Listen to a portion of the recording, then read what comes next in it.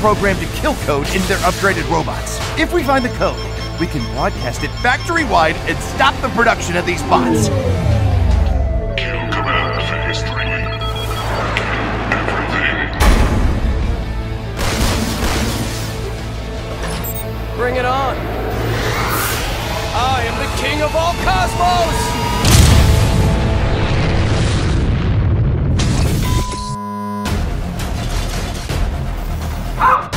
Sick of boo boo!